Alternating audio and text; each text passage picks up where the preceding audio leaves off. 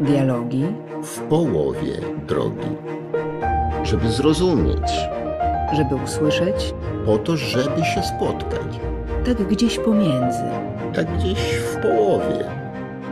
Dialogi w połowie drogi. drogi. Nie będę mówić do Kacpra, bo my żeśmy sobie wszystko mówili. Dziwne to jak na sytuację, ale ja wiem wszystko, co chciał mi powiedzieć.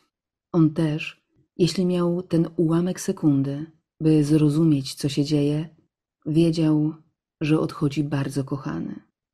Będę więc mówić o nim do Was. Justyna Kowalczyk-Tekieli. Witamy serdecznie. Ewa Skrabacz. Wojciech Ziółek. To był początek bardzo poruszającego wpisu Justyny Kowalczyk-Tekieli, który zamieściła na Facebooku po śmierci jej męża Kacpra Tekieli.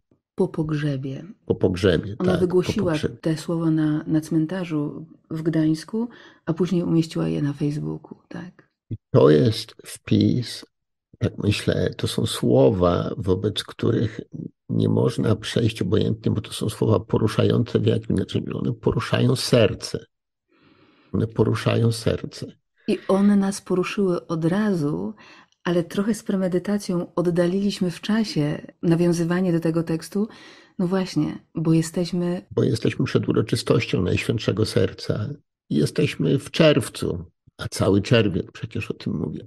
Bo co znaczy poruszyć serce? To znaczy, że poruszyć to, co w człowieku najpiękniejsze. To znaczy, że poruszyć tę zdolność, którą mamy, która nas uczłowiecza, czyli zdolność do kochania. Jeśli ktoś nie czytał całości tego wpisu, to bardzo zachęcamy, bo to jest Bo to jest opowieść o tym, co miłość robi z człowiekiem. tak. To jest hymn o miłości, tylko y, innymi niż Pawłowymi słowami, tak. Ja jeszcze bym na sekundkę wróciła do momentu, kiedy usłyszeliśmy, że mąż Justyny Kowalczyk y, zginął w Alpach Szwajcarskich. tak. Znając jej całą historię, mówię tutaj o tym okresie, kiedy miała depresję bardzo poważną, Tak. kiedy straciła dziecko, poroniła, o Tak. tym też pisała, to pomyślałam sobie, jak ona sobie z tym poradzi. Właściwie mia- miałam jakieś takie poczucie, że ona, że ona tego nie zniesie, że to jest za dużo, że, że to ją jakoś złamie. To była jakaś pierwsza taka moja myśl. Ten wpis pokazuje dobrze, to jest bardzo świeże, przecież wszystko to jeszcze jest, ktoś może powiedzieć tak, że to, że to jest wszystko jeszcze do przeżycia, że życie będzie weryfikować. To wszystko prawda. Ale to, co tu jest napisane i jak jest napisane, to właśnie tak jak Ewuniu powiedziałaś, że co miłość robi z człowiekiem, do jakich granic, do jakich szczytów go doprowadza, bo Justyna Kowalczyk przyzwyczaiła nas do tego, będąc jeszcze czynną e, zawodniczką, sportsmenką, że przyzwyczaiła nas do tego, że przesuwała granice osiągnięć, wytrzymałości fizycznej, przyzwyczaiła nas do takiego zwycięstwa, do zwyciężania.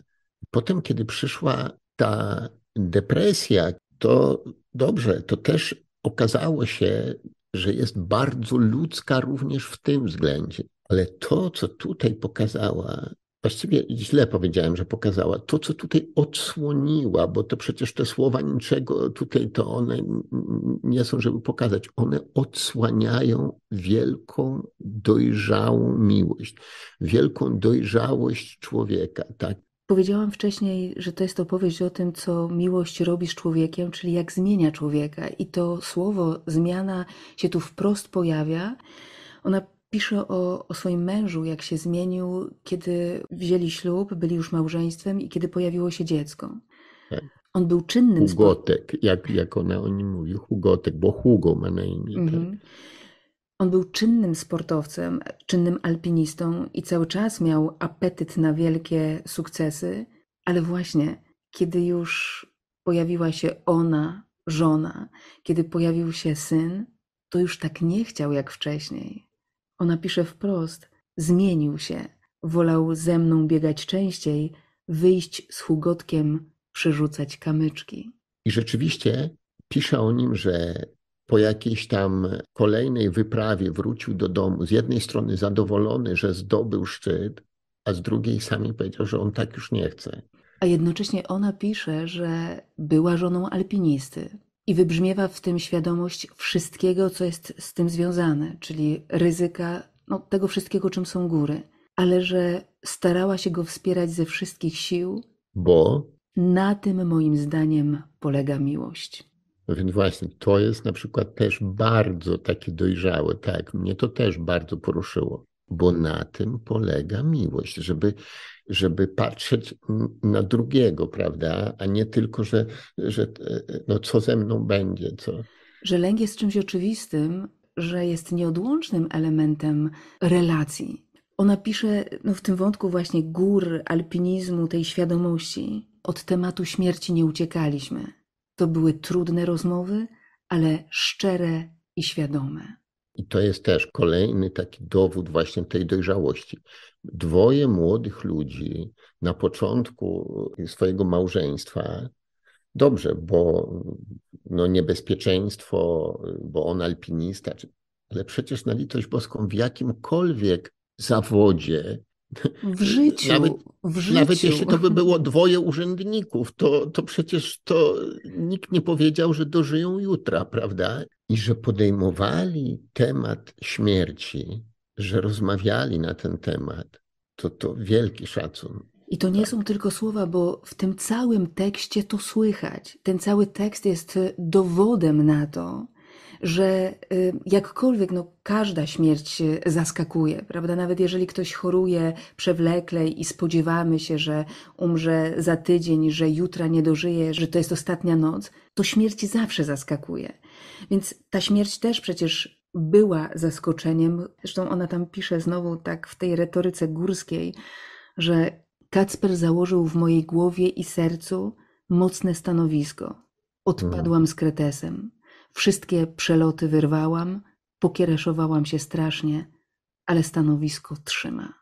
No tak, kiedy Justyna Kowalczyk jeszcze biegała, to jako kibic, kiedy oglądałem, to na co czekaliśmy? Na to, jak będzie wzniesienie. Czym bardziej strome wzniesienie, to było wiadomo, że Justyna Kowalczyk zostawi w tyle wszystkie inne zawodniczki. Biergen, nie Biergen, po prostu wszystkie inne zawodniczki na równym mogły jej dorównać ale kiedy było wzniesienie, to ona.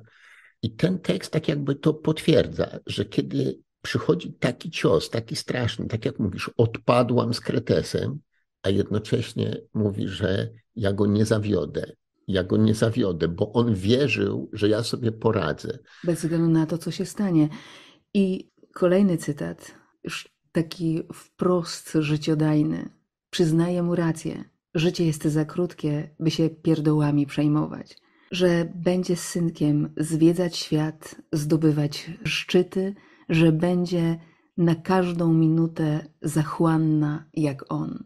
Jeśli rozmawiamy o miłości, to to jest miłość. Jeśli rozmawiamy o sercu, to serce to nie jest tylko, że tam właśnie, że tylko serce to jest, że porusza w człowieku takie struny, które są najpiękniejsze, najgłębsze, ale też najmężniejsze, chociaż to o kobiecie, ale to właśnie takie, które pokazują męstwo, które pokazują taką odwagę niesamowitą. Tak. I ja pamiętam, kiedy Justyna Kowalczyk zdobywała w 2010 roku w Vancouver złoty medal, kiedy na samej ostatniej prostej Biergen no już bardzo się do niej przybliżała i kiedy wydawało się, że, że tam no będą i rzeczywiście decydowały bardzo małe odległości, ale jednak dała radę, to sprawozdawca krzyczał w tym nagraniu: Zrobiła to, zrobiła to, wyrwała to. Tak.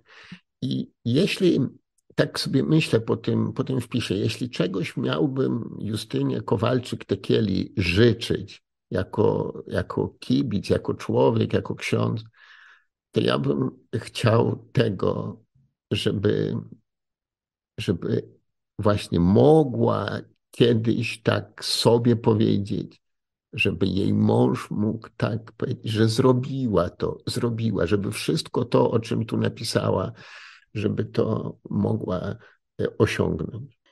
Prześliczna opowieść o miłości. Nam się serce często tak banalnie kojarzy głównie z jakimś zakochaniem, prawda? Z jakimś takim pierwszym.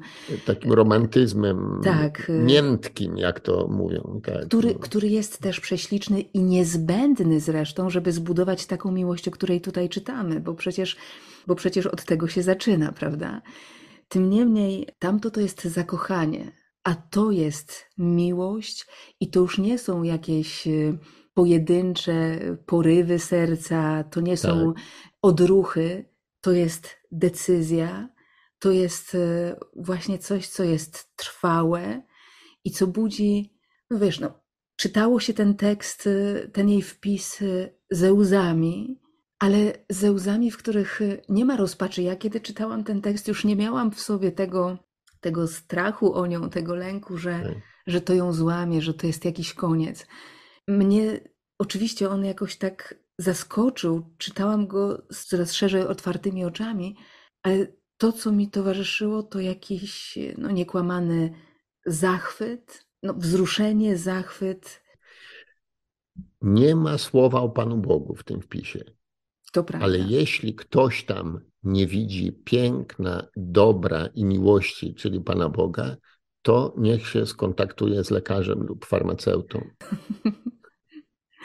I to jakkolwiek jest opowieść o miłości Justyny Kowalczyk-Tekieli i Kacpra Tekieli, to jest w tym właśnie coś, e, coś więcej. Boskiego.